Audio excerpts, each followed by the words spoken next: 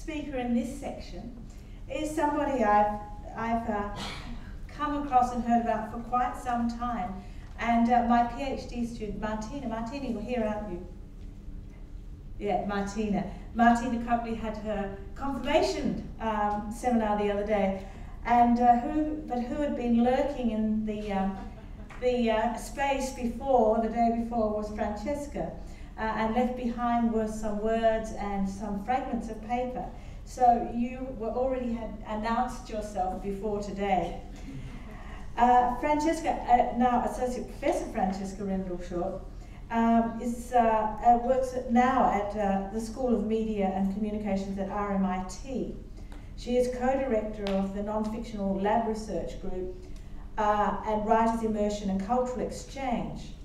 An award-winning novelist, memoirist, memoirist and essayist, her Doctor of Creative Arts was from the University of Wollongong uh, and received an examiner's commendation for outstanding thesis.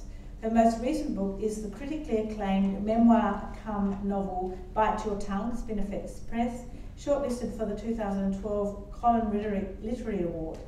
In 2013, she was the recipient of the International Non-Fiction Writers Fellowship to the University of Iowa Non-Fiction Writing Program USA.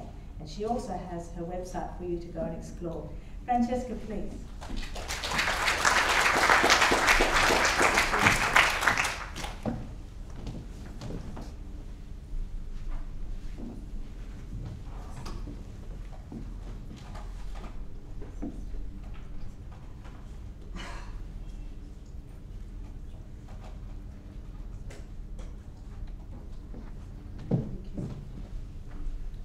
Thank you, Barbara. And um, it's a great pleasure to be here at this DCA, DDCA symposium. What a wonderful thing. And thank you also to the University of Wollongong for sponsoring me here. Um, I'm going to present this presentation as performance called Unbiting Tongue. This writing aloud, as Roland Barthes might call it, grain of the throat, articulation of the body, the tongue, as a sort of Socratic dialogue, asking, What do I know? A Socratic dialogue that searches for what something is as opposed to what it isn't. A dialogue between my making and my making about the making and my thinking about the making and vice versa. A dialogue that will mirror the original process of making this work in both form and substance. A dialogue as a test, if you like, to see if it works, because I've not presented my doctoral work in this way before. A dialogue employing a non-fiction unconvention, a toggle list, and a dialogue a la the great essayist Michel de Montaigne's famous question, Que sais-je? What know I? First an image and a prologue. What do I know? My mother's name is Angel, and she's buried near the big pineapple in Queensland, outside a little town called Bli Bli. These are my mother's hands. They look angelic, don't they? Supplicating. Are they dancing, covering her eyes? I wonder what was wrong with her that day. After my mother died, we found piles of x rays just like these in large envelopes underneath her bed. You could piece her body together. There were scans for her head, her mouth and nasal passages, her chest and stomach, her pelvis, hands, feet, knees and feet. There were two difficulties with Bite Your Tongue, apart from the usual problems of doing a doctorate. The first hurdle was the difficult subject matter, my mother. What do I know? My mother was a book burner. Sometimes she was so agitated about the books the teachers and librarians insisted I read at school, she was on fire. I could see smoke and flame coming out of her orifices, her ears, her mouth. Mind you, when I was young, I didn't know what I didn't not want to know any of this, and I got into the habit of not listening and not taking any notice. It was safer that way, Otherwise, I thought I would go up in smoke too, that she'd take me out to the backyard next to the chooks and the ducks and slip me into the incinerator as well, burn me along with the books, burn me for being naughty. I didn't dare read any of the wicked books she was talking about. She had a list of them. But I tried to imagine what lay between their covers, what could be so bad. Doctorates are about problem solving or creative solutions, as Paul Goff um, would have it. My original question or problem went something like this Can I write my mother? Am I mad? Is it even possible? What could be so bad?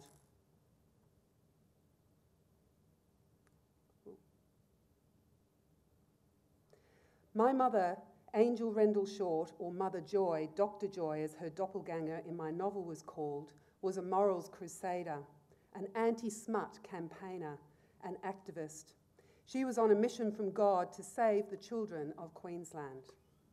Growing up, I knew about some things to do with her campaign because, she, because they involved me directly. Other things I've uncovered in the archive. Bit by bit, I've pieced together a picture. I found out, for instance, there are a number of book lists, both long and short, that were circulated and published in different forms, such as in pamphlets, in letters to the press, and to concerned parents. In delegations to government, I discovered she was discussed at length in the Queensland Parliament and that she appeared before a parliamentary inquiry. I found a letter from my mother in the National Archives of Australia in Canberra, written to the Governor General of Australia, copied to the Prime Minister of Australia, and to the Premier of Queensland, Joh Bjelke-Petersen. What I read made my heart curdle with shame. We actively encourage the presence in our homes, pardon, we actively discourage the presence in our homes of lewd literature and sex saturated books. What do I know? What saved me was my made up heroine, my protagonist, my imagined interlocutor, Mother Joy's daughter. She knew the story she wanted to tell. She had voice and intent from the beginning. Her name was Glory, Glory Solida. Because the second hurdle was that my subject matter, my mother, died halfway through my candidature, before I was finished, before I knew where I was going. Que sais-je? What know I? Some stories are hard to tell, they bite back. To write this one, I've had to come at it obliquely, give myself over to the writing with my face half turned, give my story to someone else to tell. My chosen hero is a girl named Glory. She sits in the dictionary, smack between gloom, glop, gloop, gloppen, glaw, on the top side of the column, and gloss, glossal, glossanthrax, glossary on the bottom. If I just let glory guide me, I told myself over and over through the course of doing this DCA, everything would be all right. As Anna Gibbs writes, it is possible to say all sorts of things if one's words are not really one's own. It was about trust, trusting that the process and practice of writing the tongue, as Helene Cixous conceives of écriture féminine, would create in me the space to desire.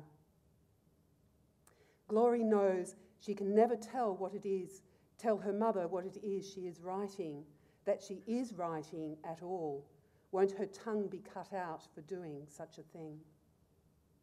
Cixous argues it is possible to construct a non acquisitional space of exploration born out of desire, where the self can experience the non self or other in mutual respect and harmony.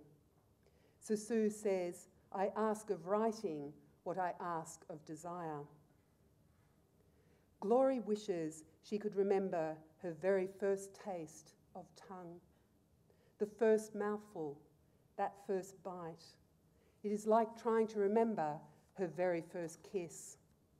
Writing this now, Glory can feel the roughness of her sister's tongue on her own, the taste of warm saliva, her first kiss, she smells her sister's perfume, Chanel 5, the one she wears today, A memory of forbidden desire swells within her. She feels the blood in her temples thudding on either side of her face, pulsing visibly like the gills of a fish. She wonders privately Will writing this change things, change how she feels, change what happens? What do I know? By writing a body on the page, a discovered body, an improper body, you reclaim your own. This experience must be a practice, as Sue insists. It is all to and fro, sound and silence. It is in the doing, the making and remaking, the composing, constructing, and breaking of rules, transgression, that things will emerge if anything is going to emerge. To unbite tongue, I had to allow the language of process to lead me through. I found little Francesca in my mother's scrapbook, a book bound in red ribbon. She was stuck into these pages next to a photograph of my mother. Courier Mail, 1975, page 3. It was my mother, all right. She was dressed in the caftan she was rather fond of wearing in those days. Then this, the first paragraph. Mrs. Angel Rendle Short of Brookfield said yesterday that a book given to her daughter Francesca as an English textbook at school would teach her to be a permissive rebel. It also said that I was willing to sit out of English classes in order to protect myself from the danger of being corrupted. Teenagers are incapable of discerning and making a judgment about what they read, especially when they have nothing but gutter standards. What do I know? Angel was quick to condemn her daughter to hell. This was always going to be a difficult project. It was a shame story. A story of a mother who was good at withholding love and affection, who never approved. It is a story of a mother who was aghast when she found out that one of her daughters was a writer. What do I know? I like irony. I look up the words permissive and rebel, wonder what a rebel might look like. Permissive meaning tolerant, liberal, especially in sexual matters, from the Latin permissio, as in permit. And rebel meaning a person who fights or resists control and authority from the Latin rebellus or bellium, as in war. Permissive, rebel, permissio, rebellious, permit war. I like the way these words look in the newspaper, the black and white print, how the typesetters spaced out the letters horizontally and vertically, how the last letter E in permissive separates out from the rest the way it accidentally drops below an imaginary bottom line as if it is being set free and riding away. what I learnt in the making of this work is that it is in the process that we become, in the making that we are made. We look like we are from the same family, don't we? No mistaking. With the same bone structure around the nose and mouth Look at the thing that pricks, the cock of my knee, how it softens my body, makes me lean towards her. Here, I am thinking eisegetically, as a methodical approach, as, to, as opposed to working exegetically, where the researcher sits in the mess and the making of the work rather than analysing findings ex post facto, as if it is a finished thing ready for examination. These two words come from the same etymological root, egesis, to seek, ex meaning out of for exegesis, and eis meaning into for eisegesis. Thinking eisegesis allows for a more subjective exploration, for loose thinking, play and uncertainty, faulty interpretation.